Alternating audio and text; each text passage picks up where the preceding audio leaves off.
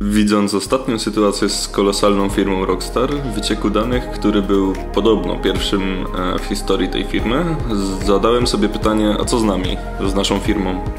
E, jak ja mogę się obronić przed osobami, które będą tak naprawdę chciały odebrać moją własność albo wykraść sekrety firmy? E, bardzo szybko trafiłem na ofertę Soka.